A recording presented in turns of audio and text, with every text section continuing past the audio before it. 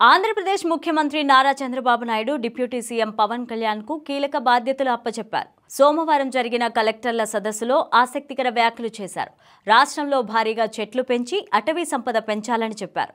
దీనికోసం భారీగా మొక్కలు నాటే కార్యక్రమాన్ని ప్లాన్ చేయాలని ఒకేసారి ఐదు నుంచి పది లక్షల మొక్కలు నాటే కార్యక్రమాన్ని చేపట్టాలని చెప్పారు. దీనికి డిప్యూటీ సీఎం అటవీ శాఖ మంత్రి పవన్ కళ్యాణ్ బాధ్యతలు తీసుకోవాలని చెప్పారు. ఇక వచ్చే వంద రోజుల్లో చేపట్టబోయే కార్యక్రమాలను వ్యవసాయ ఆక్వా ఫిషరీస్ ఉద్యానవన అటవీ శాఖల అధికారులు వివరించారు. ఇక ఉమ్మడి ఆంధ్రప్రదేశ్లో తాను ముఖ్యమంత్రిగా ఉన్నప్పుడు హైదరాబాద్లో భారీ ఎత్తున మొక్కలు నాటే కార్యక్రమాన్ని చేపట్టామని చంద్రబాబు చెప్పారు. నెల రోజుల పాటు రాష్ట్ర వ్యాప్తంగా వన మహోత్సవం నిర్వహించాలని ఆదేశించారు. ఈ కార్యక్రమంలో ఒకరోజు ప్రత్యేకంగా లక్ష సంఖ్యలో మొక్కలు నాటాలని అధికారులకు సూచనలు జారీ చేశారు. అటవీ సంపద పెంచి ఆహ్లాదకరమైన వాతావరణంలో అందరం కలిసి వనభోజనానికి వెళ్దామన్నారు. ఇలా వనభోజనాలను ప్రోత్సహించాలని ప్రతి ఒక్కరూ కూడా సమీపంలోని అటవీ ప్రాంతానికి వెళ్ళి రోజంతా హాయిగా ప్రకృతితో గడిపేలాగా అనుసంధానమయ్యేలాగా ప్రేమించేలాగా చూడాలని అన్నారు.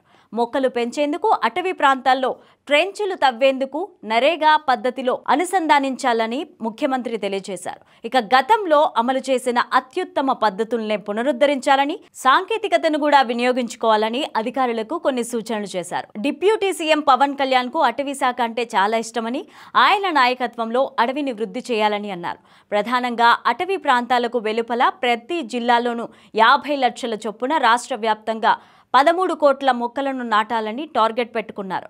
గ్రీన్ కవర్ పెంచేలాగా పెద్ద ఎత్తున అటవీ ప్రాంతాన్ని వృద్ధి చేయాలని భావిస్తున్నారు. నగర వనాల అభివృద్ధికి ఒక్కో హెక్టార్కు నాలుగు లక్షల చొప్పున రెండు కోట్ల వరకు కేంద్రం గ్రాంట్ మంజూరు చేస్తోంది. అదే పట్టణ స్థానిక సంస్థలకు పది కిలోమీటర్ల పరిధిలో కనీసం పది హెక్టార్ల విస్తీర్ణంలో ఏర్పాటు చేసుకునే ఛాన్స్ ఉంది. పట్టణ స్థానిక సంస్థల లోపల కనీసం పది హెక్టార్ల విస్తీర్ణంలో నగర వాటికలు డెవలప్ చేసుకోవచ్చు.